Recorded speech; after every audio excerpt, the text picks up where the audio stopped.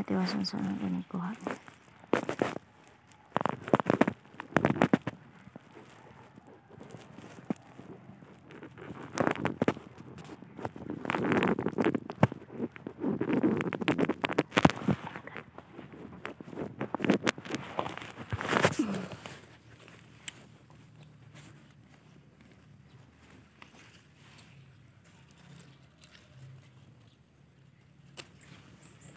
Wow, this is big.